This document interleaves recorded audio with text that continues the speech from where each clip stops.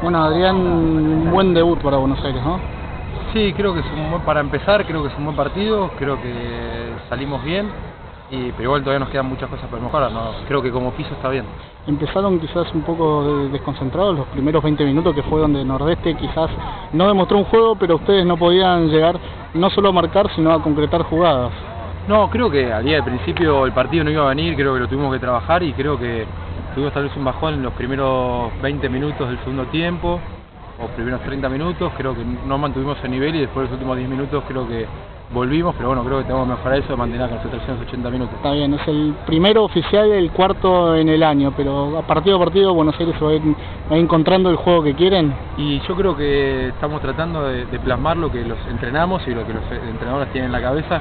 Creo que Obviamente el equipo no se arma de un día para otro, pero creo que vamos en caminos de, de armar un buen equipo. Bueno, en lo personal, ¿cómo te viste? ¿Dos tries? ¿Cómo, cómo, cómo te sentiste? No, creo que los tries es circunstancia del juego, me dejó Marcel solo y después producto del empuje del scrum. Nada, creo que contento por, por, haber, por haber estado y sumar al equipo. Bueno, muchas gracias.